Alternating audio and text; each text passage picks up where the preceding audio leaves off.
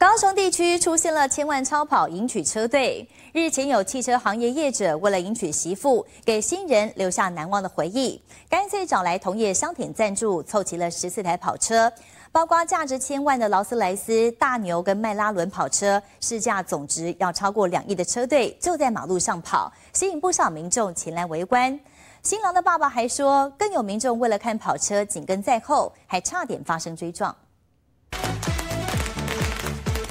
点燃鞭炮，噼里啪啦，一整排跑车开出社区，车门都绑上大红色缎带，原来全是要去迎娶新娘。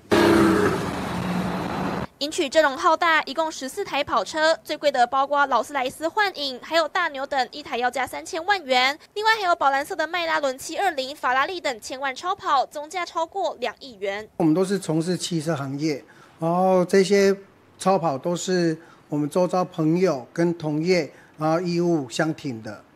然后也是顺便给儿子媳妇他们一个美好的回忆。迎娶路线从新郎的家高雄仁武出发，一路到凤山，整排跑车开上路，超级拉风。只是这价值上亿的车队，就有民众为了一睹风采，跟在后头，差点发生追撞。司机他们有说，有台国产车可能因为想要欣赏超跑，那跟得很近，差一点撞到后面那一台宾利。车队在大街小巷奔驰，抓住众人目光，浩浩荡荡迎娶，双方家长超有面子，更成功给新人留下难忘回忆。记者陈元邓明高雄采报道。